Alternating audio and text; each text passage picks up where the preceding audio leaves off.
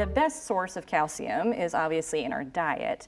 Um, but that being said, if you are, have a history of osteoporosis or osteopenia, so thinning of the bones, and your doctor recommends a calcium supplement, absolutely take it. There are very few instances in which you would not take that when you already have osteoporosis or osteopenia.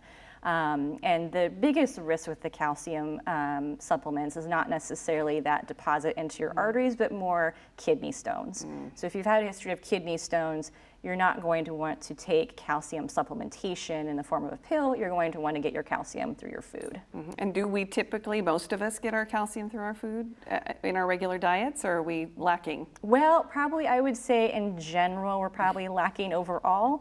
Um, however, it's quite, it is easy to, enough to get the amount of calcium that we need. We just have to kind of maybe make some tweaks here and there. Mm -hmm. Think about it a little bit more. Right, exactly. Okay. Well, make lactose intolerance. If you're That's lactose true. intolerant, you can't eat dairy products, and you might have a harder time. There are products though that are lactose free. Yeah, and I've been dairy free for 10 years, and I've tracked my intake with MyFitnessPal never have a problem reaching my calcium. Mm-hmm. What are other good sources besides dairy? Like broccoli and spinach are other ones. We fortify pretty much everything too. And so I do drink an alternative nut milk and it will be fortified with plenty of calcium. And then uh, just your grains and things like that also can be fortified. So. Okay.